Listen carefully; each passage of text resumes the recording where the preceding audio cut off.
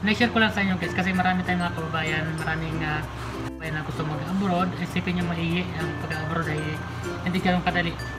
Kailangan yung pagandaan uh, physically at uh, emotionally. Hey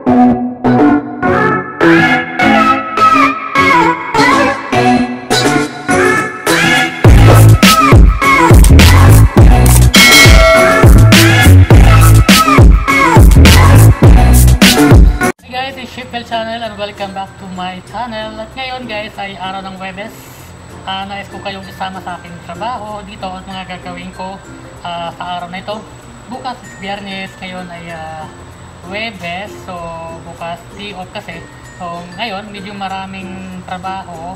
Ah, kasi ang gagawin ko ngayon is uh, pang ngayong araw at saka pang bukas. Kumbaga pang araw. So halimbawa, gumagawa ko ng 20 isang araw pupunta ko. Ang gagawin ko ngayon, since uh, di pa ko bukas, is gawin kong 40 times to ang ginagawa ko. Maliban lang sa ano, sa mga ginagawa ko na pag coffee shop kasi di ba bukas, ah sarado rin kasi mga coffee shop namin pag biyernes. So wala akong gagawin gaano na pang coffee shop. At uh, yung iba, summary ko na lang kasi hindi ko mabidyoan lahat. Basta may pakita ko lang sa inyo guys kung ano mga karaniwan na ginagawa ko rito habang dito sa ah, trabaho ko. So para kaalaman lang din ng mga ibang kababayan natin na nais mag-abroad, ah, ano na rin sa inyo para meron kang idea kung ano yung mga ah, OFW magtrabaho sa ibang bansa. O isang mahirap pa rin sa ating mga OFW ang malayo sa ating mga uh, mahal sa buhay. So guys, samahan niyo ako sa mga gawin ko pa dito sa trabaho ko. Balikan tong area ko dito guys. Ako lang ano, yan ang hobing ko. Maliit lang naman siya.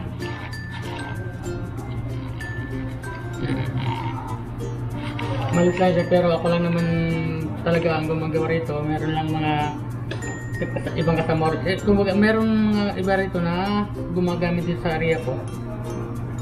Ah, uh, kung meron silang ano, wala silang pwesto, so ginagamit sila yung area ko. Pero yung talagang nakasign dito sa sa ano ko, area ko is lang. Pagpapasok ko pala guys, lagi akong may charger, may ano, may uh, cord na dyan. Meron din akong itong charger. Lagi at adapter. So adapter kasi guys, dito iba yung ano, iba yung saksakan dito guys. Ganito. Ganito yung mga saksakan dito. Kaya kailangan na meron ganito. Ayan. Yung magamit ako nito. Ewan ko bakit, uh, bakit ganito yung mga ano nito. Uh, lahat ng saksakan dito sa trabaho namin is uh, ganyan. So, may kanya-kanya kami mga dalang adapter. Yun.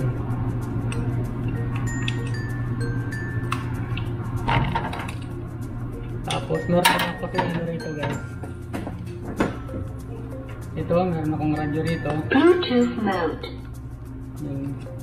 Lagi, lagi, lagi ko lang itong ano, nakalagay dito. Pero pag umuwi ako, kaya sinasara ko lang ito at ita, ayan ako, tatabi ko lang. Ako lang naman magamit niyan. Ayan.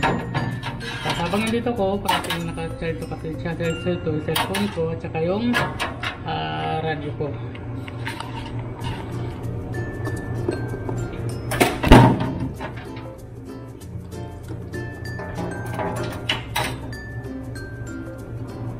Paulitan ko lang yung radyo ko tsaka cellphone ko. Ayan. Kasi ano to, yung charger, maganda nga charger, ano to, na-cord na to kasi dalawa nito pang ibang set, pang ano, bawa Samsung at itong radyo ko o speaker ko. Tapos ito naman pang iPhone na ginagamit itong telepono. So, yun lang. Ah, isa lang dala-dala kong cord pero maaari siyang magamit sa ibang cellphone. Yun.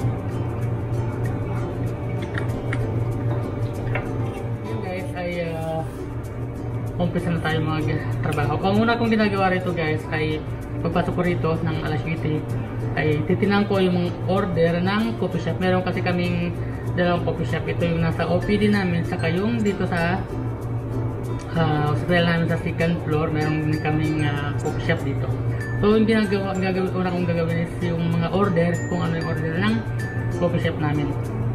Pagkatapos ng coffee shop namin, yun, nakapag, ano ko, coffee break ako, halimbawa, mga third, matapos ko, dalawang oras ang gagawin ko, halimbawa, sa city ngayon, so 7, 8, uh, 7, uh, 8, 9, so 9, nakapag coffee break ako, uh, pag natapos ko na yung, ano, yung uh, coffee shop, kasi yung order ng coffee shop. Pag ganitong araw, kunti lang naman ang order ng coffee shop kasi bukas, biyernes, sarado naman ang coffee shop namin.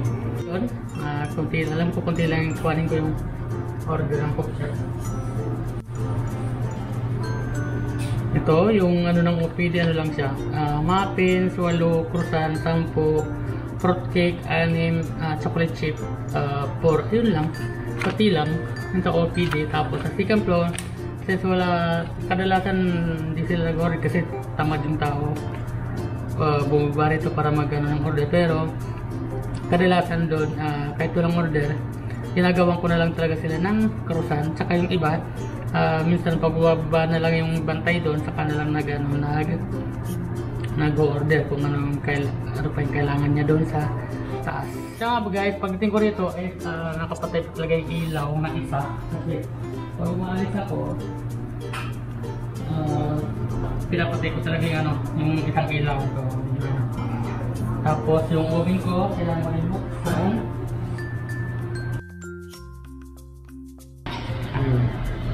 Para ano, uh, preheat ko, preheat ko yung oven para pag ano ko ng ano. Yung croissant ko guys, ito.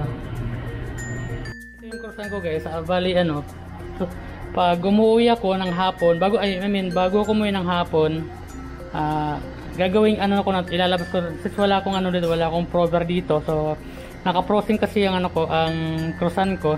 So bago ako umuwi maglalabas na ako ng croissant na para kinabukasan so tapos inano ko lang to lagi ko rito tapos na, binabalutan ko ng cling film. So pagdating ko kinabukasan gaya ngayon pagdating ko ngayon ng umaga is alsa na siya. Ready na siya i ano i oven di ba By the way guys, tapos ako magugas ng kamay. Uh, hindi ko lang napakita kanina. Pag ano ko ng pagugas ko ng kamay. So, ngayon mag-gloves na ako at uh, mag-umpisa na akong mag-trabaho gawin yung mga uh, sa coffee shop. Kasi pagkatapos ng coffee shop guys, ay ay pagkatapos ng coffee shop kasi, sabi ko nga uh, nag-coffee break ako. Pagkatapos pag, pag after coffee break, simulan na ako magtrabaho o gawin yung mga pang pasyente namin, mga dessert. So yun, tapos gagawa ng mga ibang mga bagay dito sa trabaho ko na uh, yung dilirutin ko. So yun lang guys, uh, stay tuned lang kayo guys at uh, samahan nyo lang ako kung mga gagawin ko pa dito sa aking trabaho.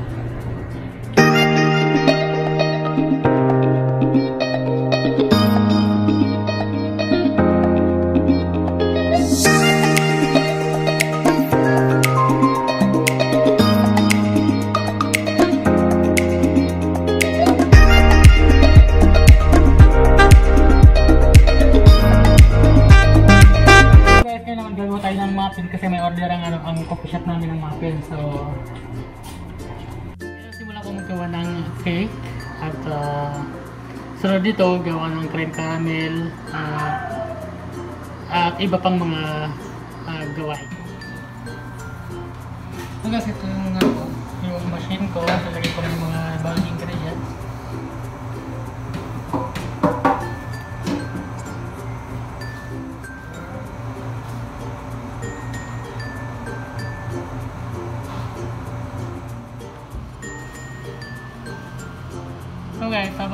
mini-mix ko yung aking cake, uh, nag aking ginagawang cake, so tapos uh, prepare ko rin yung itlog na gagamitin ko. Prepare ko naman guys yung uh, bigyan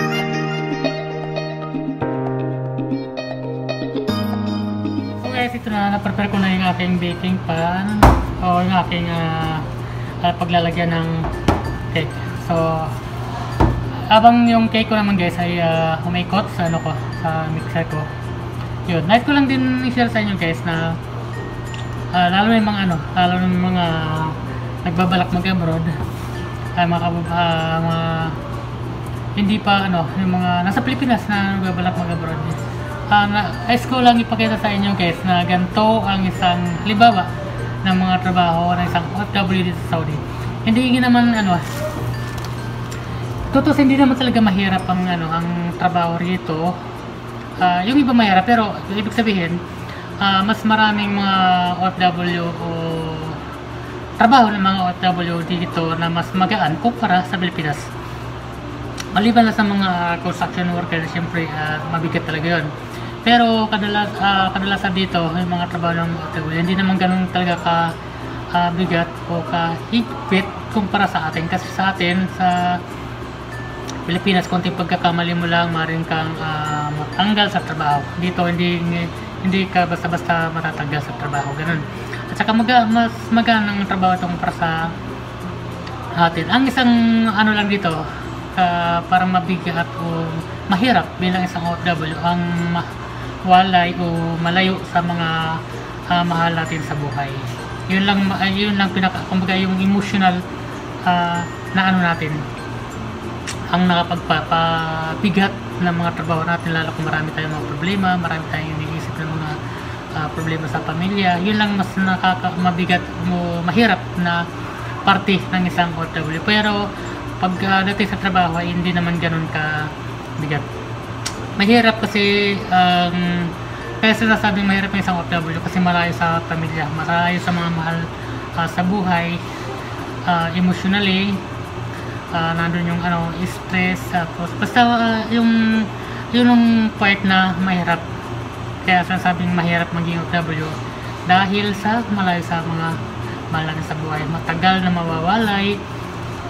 Kung hindi nyo tatanggay ako, uh, ito pinakamatagal kong uh, hindi nakauwi. Dati every 2 weeks nakauwi talaga ako.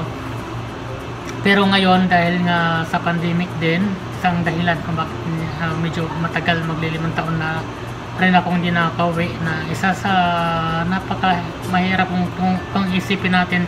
Hindi naman ganun ka uh, hirap yung trabaho ko rito pero yung pinakamahirap na parte yung uh, ang tagal ko mahirap maano ang tagal ko nga hindi nakakauwi na gustong gusto ko umuwi.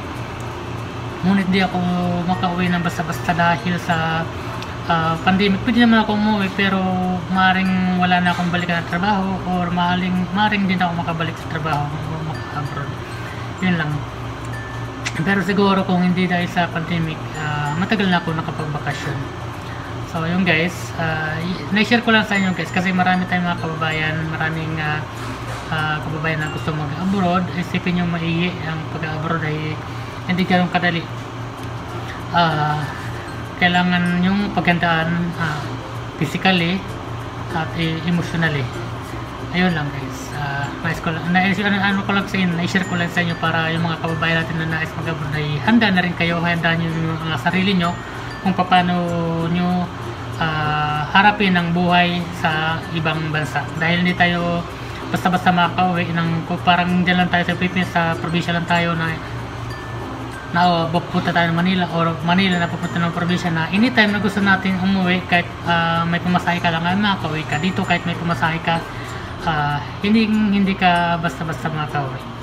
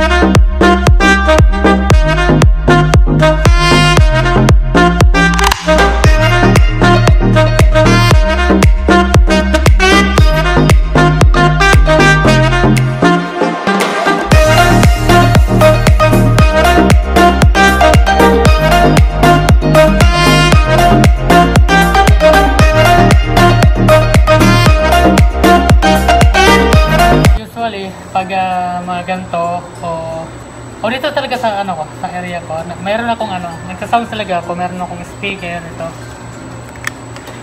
Ito. May ano to, may SD card. minsan ginagamit ko ay FM, radio, ay Arabic ano, Arabic na radio. Ah, kasi maganda yung ano, maganda yung mga music. Hindi ko lang ano, hindi ko lang binuksan ngayon ano, habang nag-video kasi maka-copyright tayo. So, pero try natin buksan to. Bluetooth mode. Ah, ito yung mga sounds ko rito. FM mode. Play by TS card.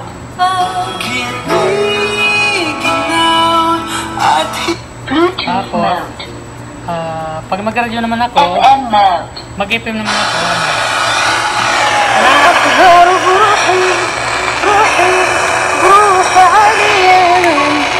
Yan.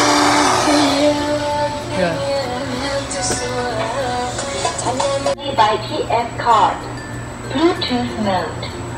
Makapira tayo guys. Yun, pag yung nag-FM ako, kailangan nakasaksak yung ano, ito, yung cord, ito, pinaka-antenna niya. Ayun, kasi pag hindi, ah, parang wala siyang signal. Kahit hindi nakasaksak siya sa kuryente, basta mayroong wire, yun ang pinaka-antenna niya. Yun. At saka dito guys, isa pa, ah, dito sa area namin, ah, halos walang signal dito sa loob kasi yung mga pintuan namin is ah, mga mga kakapal na mga stainless. Kaya kahit nasa ground floor lang kami, wala kaming ah, internet, wala kaming signal na nasasagap. Maliban na kung didikit kami dun sa, ah, kung yung malapit kami sa, sa labasan.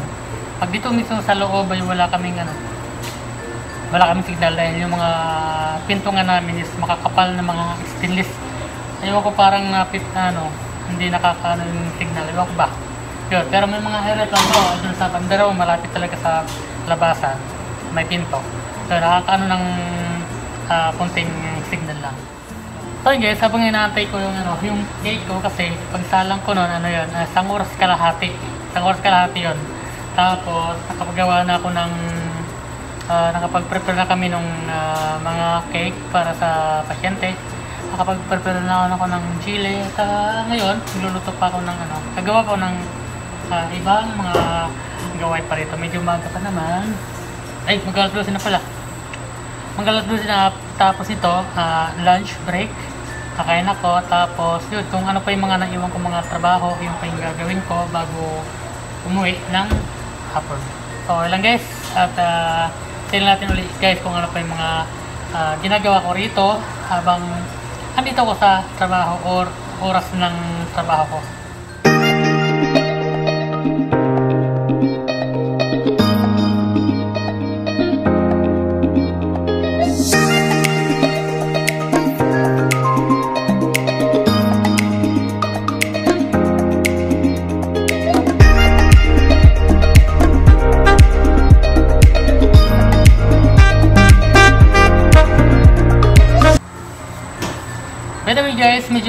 Tayong hindi pag-vlog. So, sana sipagin ulit mag-edit, mag-vlog at saka mag-edit ng mga videos.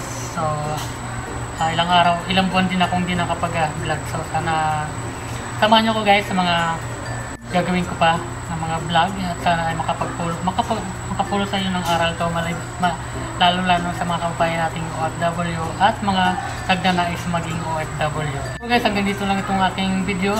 At bago ka lang guys sa channel ko, paki-subscribe na rin at paki-tap ang notification bell para pag-link kayo ng mga videos pa na i-upload ko dito sa aking channel. Yun guys, maraming salamat. Bye!